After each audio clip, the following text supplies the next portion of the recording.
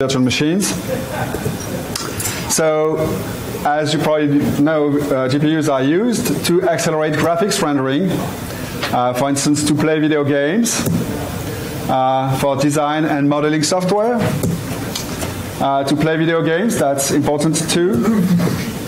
For data visualization, what you see there is an example where we show in real time about 1 billion data points uh, using this visualization software. Uh, playing video games, in case you forgot. Um, they are also quite good for any kind of parallelizable computation. For instance, machine learning and artificial intelligence. Uh, you have here a training set uh, for that NVIDIA uses to train the AI for driving.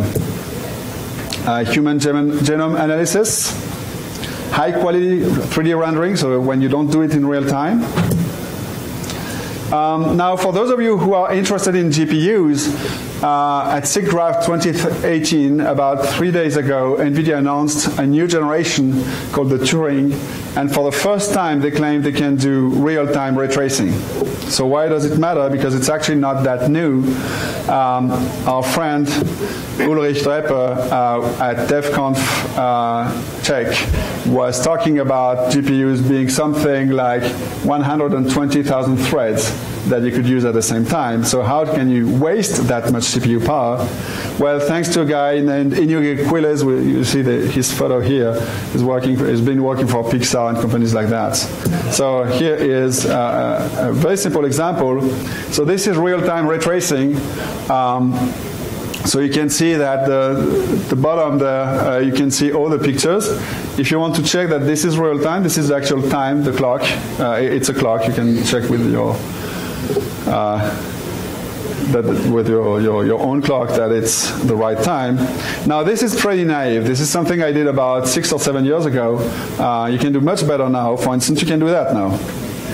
Uh, so this is the same idea, a real-time clock. Uh, you may recognize a DALI work, you know, the molten clock, but now it's showing the real time. and you can do a number of different effects, uh, characters, landscapes. Um, this is a realistic looking rock, except you will see that it changes shape over time.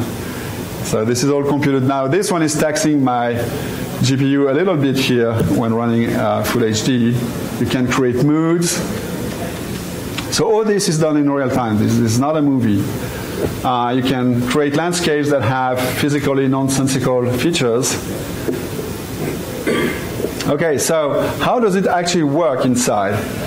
Um, so the first level at the top there, the application, uh, is going to call an API. Uh, there are a number of graphics API like OpenGL, Vulkan, etc. And then that's going to go through a GPU driver, which sends that in some proprietary fo format that I call the graphics bit stream on the chip uh, through the, the chipset driver in Linux in the kernel and um, some graphic card is going to render that in a frame buffer, and then the frame buffer is going to be converted to a digital signal that goes to your screen. Now, um, the compute acceleration that I told you about, for instance, for artificial intelligence, follows a similar path, except, of course, there are different APIs, and you don't send the output uh, to a screen. Now, why would you want to virtualize GPUs? Well, one reason, for instance, is compatibility um, for software development and testing. If you want to run a GOS, a game operating system, like Windows, for instance. Um, for flexibility, um, this can allow you to have video streaming to thin clients. To this enable cloud gaming, and uh, of course all the benefits you can get from scalability management etc for uh, you can get with uh, graphical uh, devices as well.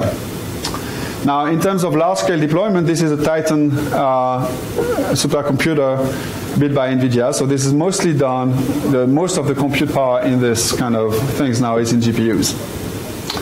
And of course, we can have swarms of, of GPU-accelerated nodes. Okay, so Um, the problem is that when you want to actually virtualize this, there are many, many solutions, and it's a bit complex. The simplest and most naive one is to have a full device emulation of a VGA class driver. So this is really how we did it in the 2000s or something like that. And uh, the good thing about it is that it's very compatible, for instance, with old software, um, old hardware, and it works at guest boot, so you can emulate that before the firmware is even loaded. Um, so it supports practically all the virtualization features. You can do migration, stuff like that. You can have as many concurrent virtual machines as you want. And, um, and you can have remote access to it. I'm going to talk about remote access at the end of this talk. Now, the, the cons of this approach is that it's very slow because you're emulating a device that was not designed for virtualization. It has tons of legacy quirks like memory. It doesn't feature 3D. VGA doesn't have 3D by default. So if you have 3D, it's all software. No compositing, so no mode on desktop. And um, so that's basically the reason why you want to move to something else.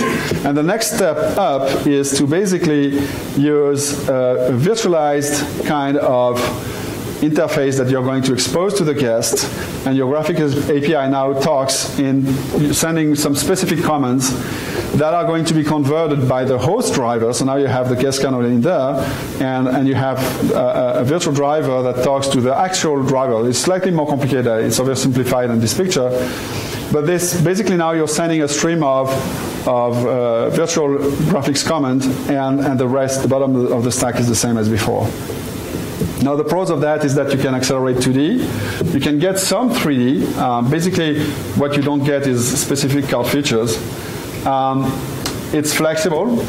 Uh, the cons is that you can't expose the vendor features from the card because now what you're exposing is a, is a virtual device that doesn't have the actual card features. So um, that limits the virtualization features as well, and the performance is at best medium. Uh, you don't get direct buffer access to the card, stuff like that. So it's basically you can get multiple VMs running at the same time, but you don't get the best uh, performance. Now, when you run multiple virtual machines at the same time, there's another difficult problem, which is that you have to schedule rendering on a device, the GPU, which is not necessarily designed for that. Uh, context switching on a GPU is problematic. And so uh, resource allocation is also an issue because now you don't have a dedicated car for one, you know, one guest workload. You have to share it. Um, and uh, the GPU capabilities are hard to expose, as I mentioned. Migration is tentative at this at the moment. Part of the problem be, being how you, you, you feedback the screen outputs. If you switch from one host to the next, then the, the, the, the graphical output is going to switch from one machine to the other. So you lose some of the benefits. And remote access is a problem in this case. Where, where do you put the remote access con control in there? So the next step in order to get better performance is to do GPU device assignment. Uh, so basically, in that case, you pass through um, the graphics API directly to a vendor driver that resides in the guest, and now it talks directly to the hardware through vendor-specific commands. So now you're poking a hole through the virtualization layer there now that, that, that hole can be somewhat, you know, the safety issues can be somewhat mitigated, um, but that's, uh, it, it's really how you do it. So the pros of this approach is that you get uh, near native performance in the best case. Now you're talking to the card directly. You have good compatibility now with new features because now you can see the card, so you can know what, you know, what kind of features it exposes, and, and therefore uh, switch to a more modern um, rendering API because you use the vendor driver in, in, effect. So you get the latest APIs, you get the best graphic features. Uh, the cons is that, for instance, the boot console is problematic in this case uh, because uh, you, you're, you're, no longer connected directly to, to the hardware, so basically you get a black screen. Uh, the setup is not very flexible because it's attached to a specific VM, and migration is a real problem in that scenario. No sharing either. I'm going to explain in a minute later uh, why not. So the next step, uh, to see the difference between these two cases, I have to switch back and forth so you can see because the difference is not completely obvious, but the main difference is how we talk to the hardware at the lowest level. So there, um, we are going to find a way to share the same CPU uh, across multiple VMs. So uh, in, in, the single uh, GPU case, you have, uh, so that's, that's a vGPU case, basically. We split uh, a GPU between multiple VMs, and now that's a GPU that knows how to be split and knows how to support virtualization. So we get some compatibility, same, same benefits as before, but you get multiple VMs, and that's the big benefit here. Now the cons is that you still don't have much flexibility. The hardware requirements are high because now you need uh, a lot of, uh, of extra GPU power uh, because you are going to split it across machines, and in general it's done in a static way. Um, migration and the features like that are still problem, problems. Now, uh, it turns out that uh, when you do this, when you do this kind of device assignment, it might seem you know very simple. It's just you know I take a GPU, assign it to a VM. What could go wrong, right? So. Um, it, turns out it's, it's, not that easy. Uh, you need hardware support, not just in the GPU itself, but in the uh, in the chipset as well, because you need some kind of isolation between the GPU and the memory it can touch. Um, so and you need to be able to enable the IOMMU, for instance. Uh, and then there are a number of hardware quirks that you need to be able to deal with. So in terms of topology, you have not completely isolated things like you would um, in uh, uh, when you, for instance, virtualize a CPU. Now, this is in a sense relatively similar to what, you, what happens with NUMA uh, when you go to, to virtual machines with CPUs. So what happens now is that your devices might have you know, some sort of arbitrary topology in the physical world. And so um, now you can create your IOMMU groups and split them in any way. So now, as, as long as you have a single GPU, it looks fine. You know, it's basically a straight line, so no, no real issue there. And if you have two GPUs that are connected to the same PCIe bridge, they can basically talk to one another.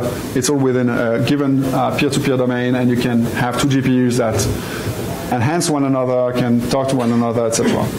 Now, if you have multiple scenarios like this, you're still through the same bridge. Um, but if you have to go through uh, interprocessor communications with uh, QPI, for instance, quick path interconnect, then it becomes much slower.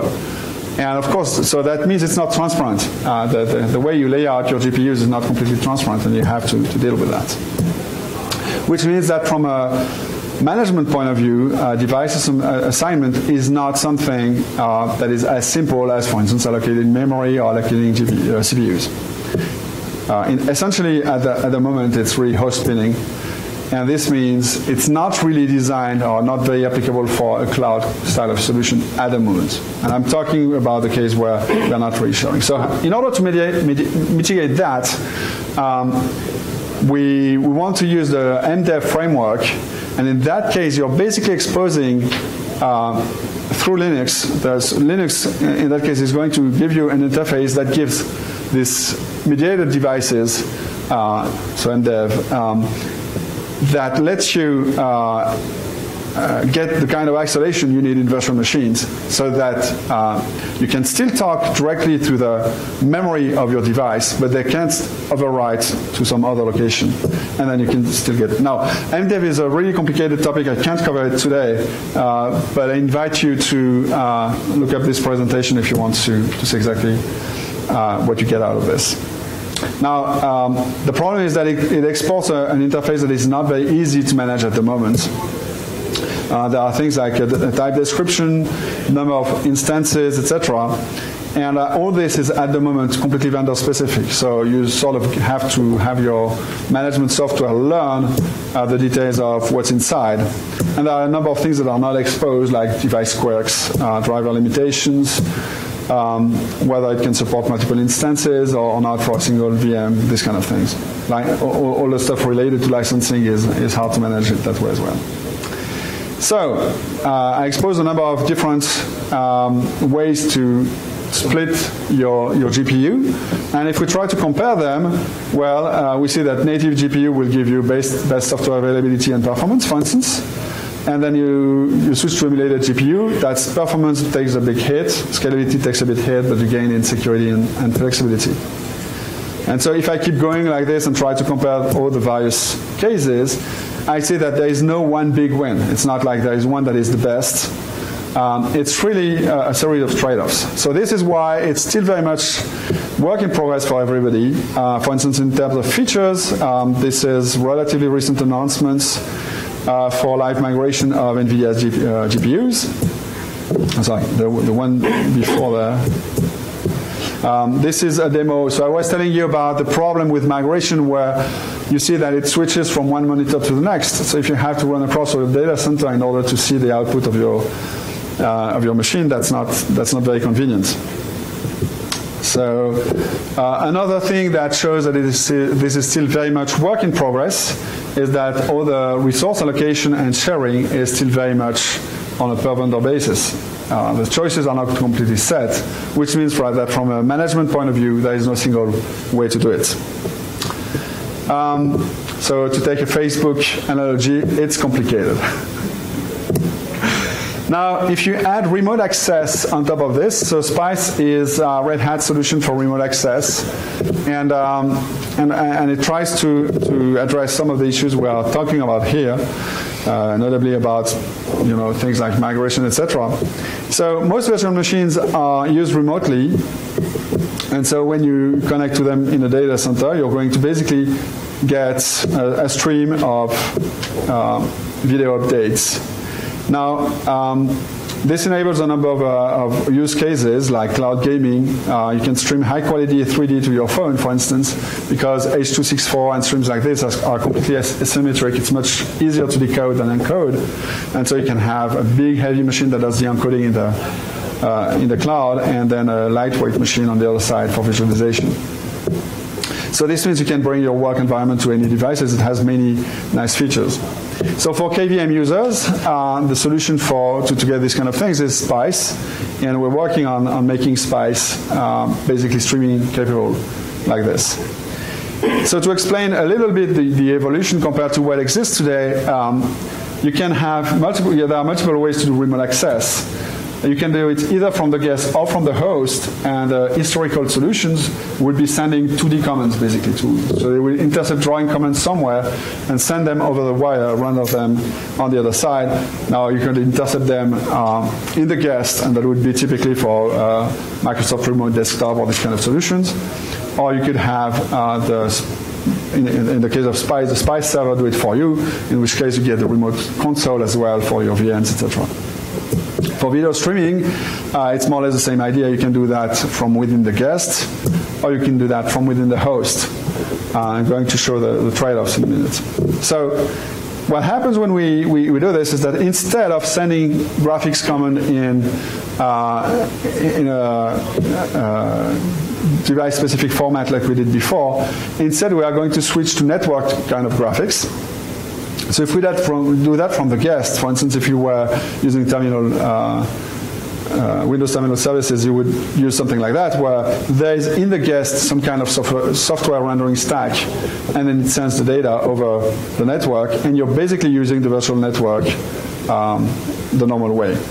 Now, when you do this, this is widely available. Most operating systems now have this, and it may be as simple as X11 uh, in the case of, of Linux.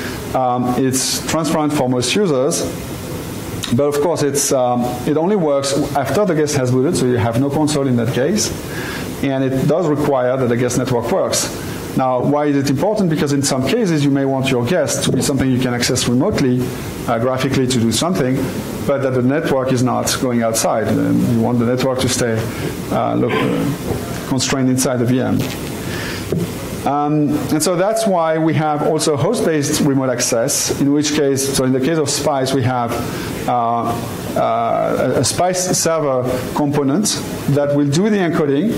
And the way this works then is that we have basically a driver in the VM, um, in, in, the VM, uh, in KVM basically, that is going to intercept 2D comments and behave mostly like a VGA, then transmit that to the Spice server. Spice server sends that over the network, and you have a Spice client on the other side that renders that as graphics. Now, that, that works pretty well for 2D, but it doesn't work very well for 3D. So if we want to do 3D, we do we do need some kind of streaming, so something like that looks more like um, uh, we we have an encoder that generates video on the fly, Now, if we want to do that with vendors like NVIDIA, they really insist on doing this in the same way as is being done for virtual GPUs. Um, and so remember that the, in the vGPU case, what we had was um, that the, the GPU driver resides in the guest. So that's why you need to do the encoding as well. So that means basically that you are encoding H.264 from your frame buffer within the guest, which means that you need in the guest some kind of agent that is going to send the data over, and you send it to the other side over the network. So uh, this is a little bit complicated to set up, and, and it has the same kind of drawbacks as we had before, uh, because, because now you have to wait until it's booted, and you have to have an alternate solution pre-boot that shows you the, the console before you boot. And so finally, something that is not done yet, but, but I hope that it will happen within maybe the coming year or something like that, is to do host-side streaming, uh, still using hardware acceleration. And so in that case, um, what we do is uh, we, we send the graphics uh, down there, and we still have the splitting abilities that we talked about before uh, with the GPUs. Now we're using the vendor GPU driver here, and, and we do the encoding host side, um, meaning that now the, the, the, the, the whole uh, network stack happens here. Now, if you do this um, uh, that way, um, then the, the, the, nice problem to, that you have in this case is that you need to, find a way to share the features, uh, share the encoder, share, uh, um, share the frame buffers, etc. Now, why is this a problem? Because now your graphics API is doing the rendering in this side, right? So it's doing basically all the rendering is done in the guest. And you need to find a way to pass the guest data, preferably without copying it in a way that uh, the, the host driver can see it. So there are some developments that are going on in the Linux kernel at the moment to try to enable that, but it's a relatively complicated problem. Um, and so you have to realize that, for instance, the rendering may happen at 60 or 120 frames per second. So you need to be able to pass the data uh, from the, the, guest. I did a guest user space down to host kernel um, without copying it. So that's, that's pretty, pretty expensive. And, um, and I'm actually done. And I did I spoke too, too fast. so I'm ahead of time. I removed a number of slides compared to. Yes?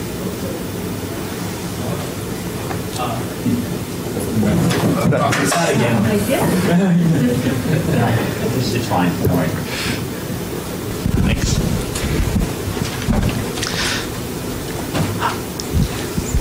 Thanks for the presentation.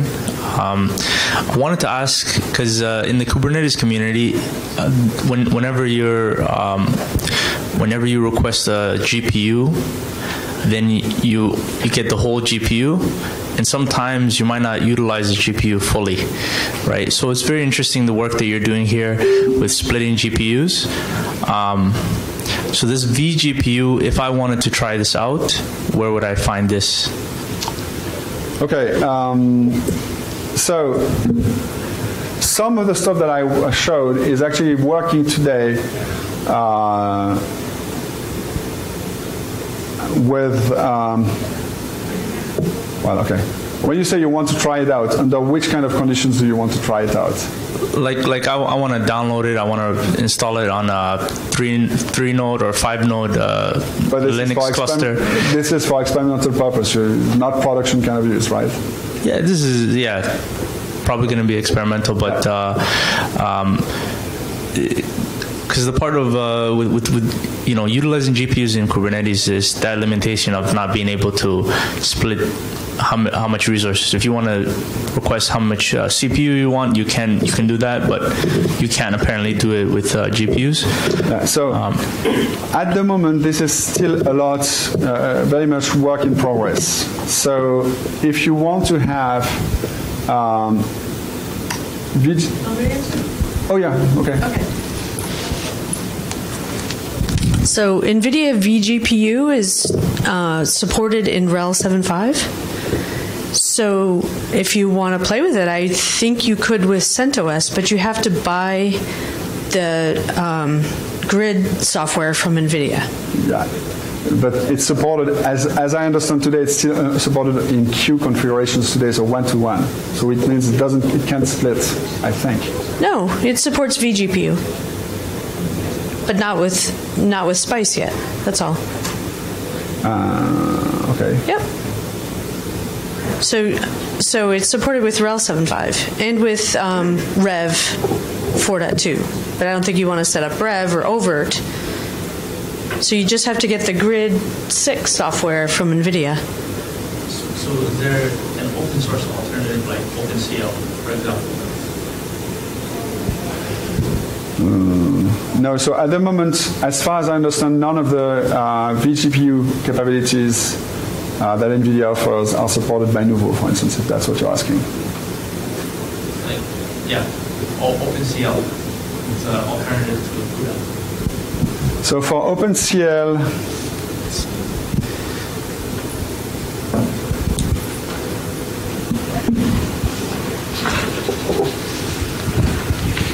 Okay, I, um, I would need to check because my understanding. So apparently, my understanding and, Karen's are different.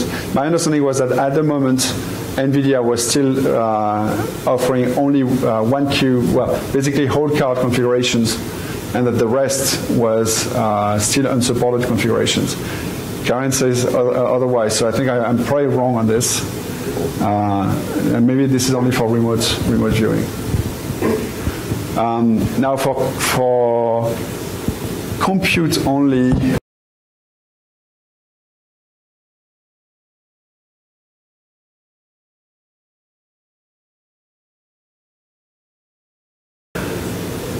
In full open source, I don't think there is anything that works. If you want it full open source, So Intel is also working on vGPU. yes. So KVM GT. So that would be fully open source. Yes. And okay.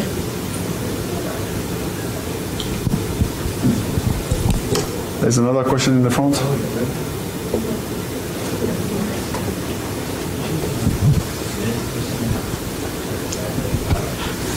I understand why the streaming agent approach is not ideal, but are there uh, any open source streaming agents I can use right now with oVirt slash RHEV or with you know KVM and libvirt?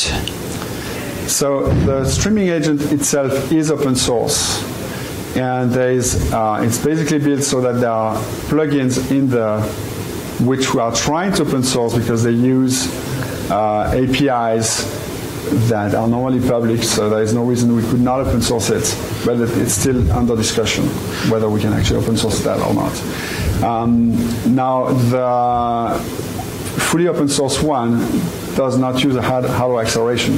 That's the problem. So it, it basically does MJPEG encoding and stuff like that, which is all in, software. So it's good for testing purpose, but it won't give you the hardware accelerated. It will give you hardware accelerated rendering, but not encoding. Okay, uh, I mean I know that Spice does MJPEG. Is that part of the Spice uh, like guest a- agents and all, or Yes, that's what I'm talking about. yeah, this part it's built in the Spice guest agent right now. And now, and now there are other. You can of course uh, use other solutions like VNC or like uh, TGX or whatever. Um, uh, so if you use VNC, for instance, you will have you know very fast rendering on the card, but you will get very slow transport over the network. Okay, and there's lots of but there's lots of proprietary streaming agents though, I guess. Um, yes, you, you have as I, as I mentioned, you have TGX as an example. Yeah, Okay.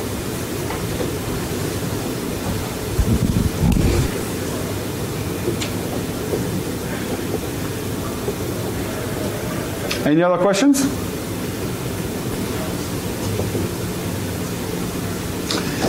Thank you. No, there's, there's another one. So, uh, assuming there's three hardware vendors, uh, you know, NVIDIA, uh, AMD, and Intel, do you have to buy professional uh, graphics adapters uh, for uh, VG, uh, uh, virtual GPU, and including Intel? Do you have to have like a Xeon and all? Okay, so um, as I mentioned in one of the earlier slides, uh, the, the- you, you so in order for this to work, you really need good support for IOMMU. from the card side, um, it, it really depends on the vendor. vendor. Each vendor has a different approach. So for NVIDIA, you typically want recent cards. Uh, to get vGPU, you really need cards that are uh, dedicated for this. For historical reasons, AMD used to have the uh, IOMMU support baked in earlier. It doesn't necessarily mean it's better, it's better supported in Linux, but at least from a hardware point of view, older cards have better chances of being isolated. It doesn't mean that the driver support is good.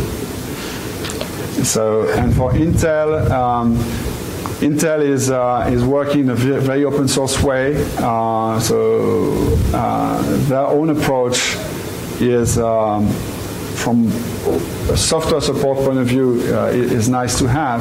The problem is that the performance at the moment is not the best the among the vendors. Yes.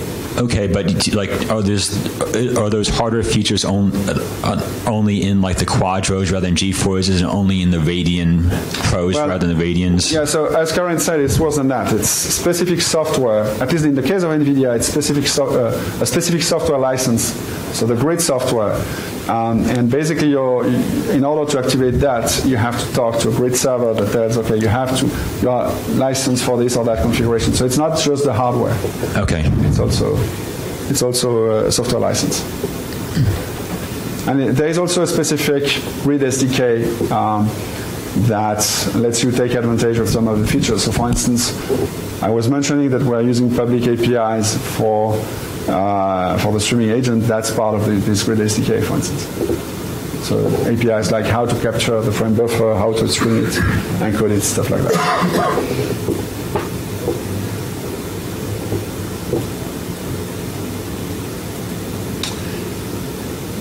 Looks like we are out of questions. Thanks a lot for your attention. And sorry for talking so, so fast.